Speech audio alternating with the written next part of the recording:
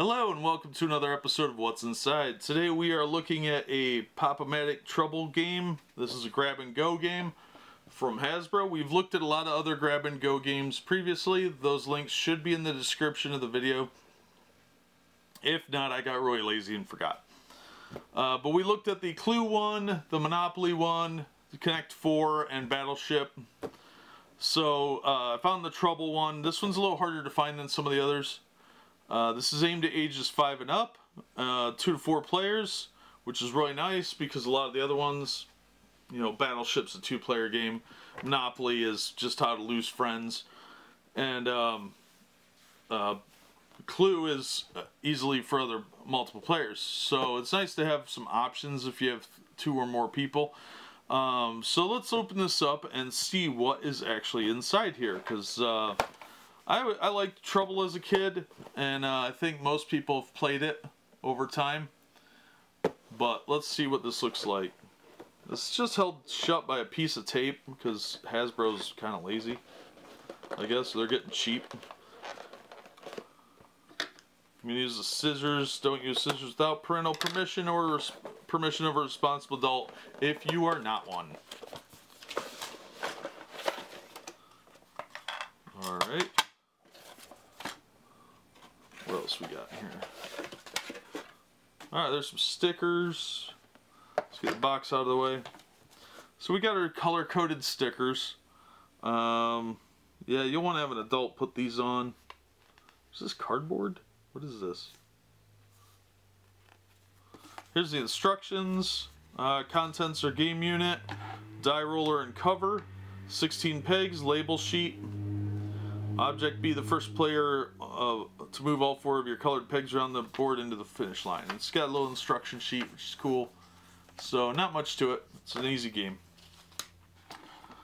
So let's take this off. This does just kind of pop off, more or less. Yep, be smarter than the packaging. You'll want to save this because it does protect the board. Uh, the bottom of the board is plastic, obviously. Um, it's not the highest quality of plastic, and it will kind of move along because the popper piece is actually slightly lower than the edge pieces. So it does seem a little unbalanced. And what we have inside here is a small D6 on a little clicker. If you remember those little like cricket clickers when you were a kid, that's all this really is. Now you've got four different color pieces and four of each. So, so you got four red, four blue, four green, four yellow. Try not to lose these. These are important. Now realistically, you could take these out, put these in these little tray areas here where the stickers go and put this on top and protect them and keep them from moving around. That way you can just keep the this piece itself and throw out the box. And of course, you know, the stickers are going to go on here and tell you where you need to go. So it's all color coordinated. So yeah, um, this is actually a fairly thick piece. I'm surprised. Um, you just press down on here and it pops the dice up because that's how the clicker works. And it's just a, like a, that's a pretty small D6. But it seems to work pretty well got good random number generation. Let's see how these pieces look. And of course that didn't open very well.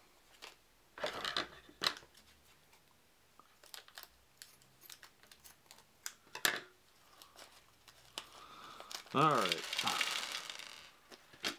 Actually, these are pretty nice. Yeah. They don't, they're very loose in here though. So if you're in a car and you got big grown-up hands, you hit a bump, they're not going to fall out of here per se, but you might drop one because as you're trying to put it in, you might miss. It's not a very snug fit. So,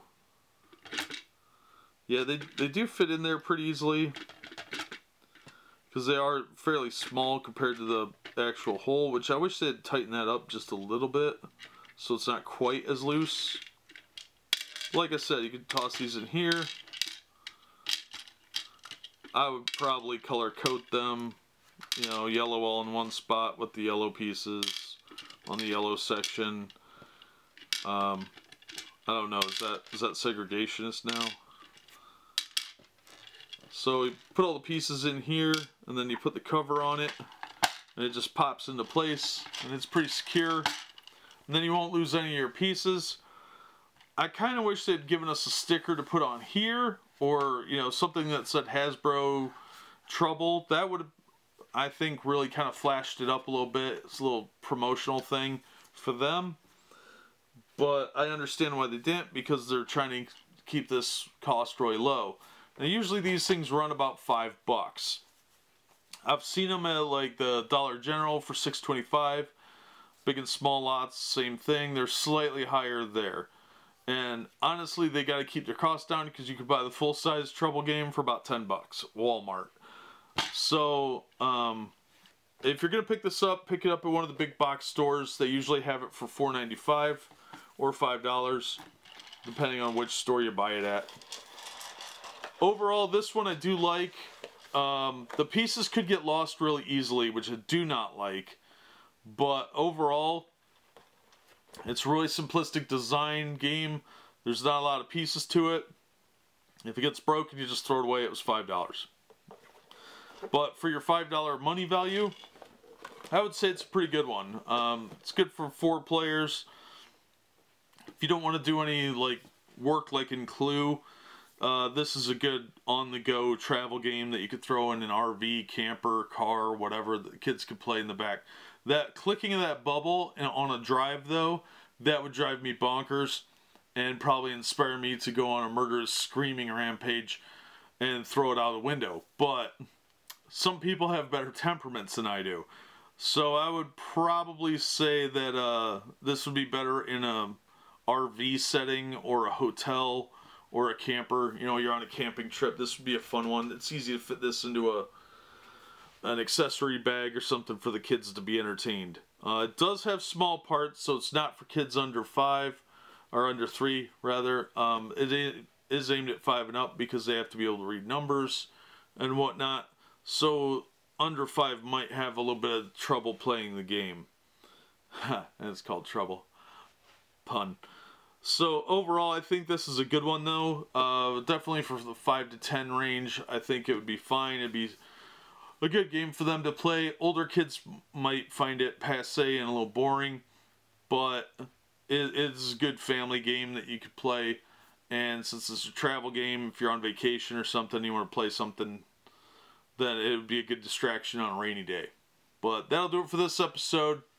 I really like these grab and go games overall. I think they're a great idea. This one's probably one of the best ones. I, I think Clue is probably my favorite overall for value for the dollar. But this is definitely a high ranker for me. So, in the meantime, we hope to see you on the next episode of What's Inside. And as always, thanks for watching.